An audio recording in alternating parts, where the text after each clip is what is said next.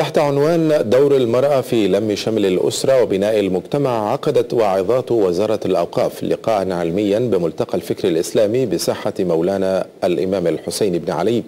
وخلال اللقاء تم التأكيد على أهمية تبصير المرأة بالقيم الإسلامية الصحيحة كي تكون قادرة على تنشئة أبنائها على تعلم أمور دينهم ودنياهم. حملوا صدى التغيير عنوانا بمشاركتهن التوعية والعلمية في ندوات ملتقى الفكر الإسلامي بساحة مسجد الإمام الحسين. وعظات الأوقاف تؤكدن خلال الندوة أن التبصير بقضايا الدين والمجتمع رسالة عامة للجميع وللمرأة خاصة والذي هو هدف الرئيس لعملهن. فرصة عظيمة للمرأة أن تتحدث مع المرأة في أمور تخص البيت وتخص الأسرة من منظور إسلامي ومن منظور الشريعة الإسلامية السمحة. المرأة حجر الأساس في بناء المجتمع ودورها يأتي بالتوازي مع الرجل. لذا حرصت واعظات الأوقاف على بعث رسالة بالندوة. المرأة كيان عظيم في المجتمع وعليها تبنى دعائم الأسرة. المرأة عماد الأسرة وعليها عبء كبير وعليها العامل الأساسي في بناء الأسرة وقيام الأسرة. وبالتالي إذا قامت الأسرة قام المجتمع.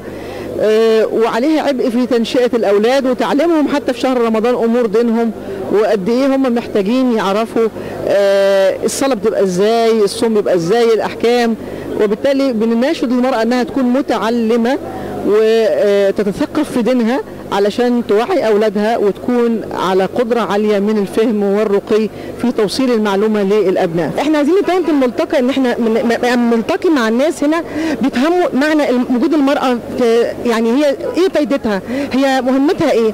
اولا الراجل كثير جدا بيقول إن المرأة وجودها في البيت هو بس وخلاص.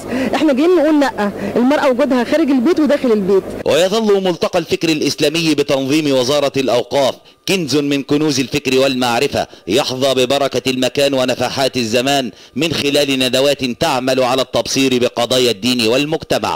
من ملتقى الفكر الإسلامي بساحة مسجد الإمام الحسين وليد هيكل التلفزيون المصري.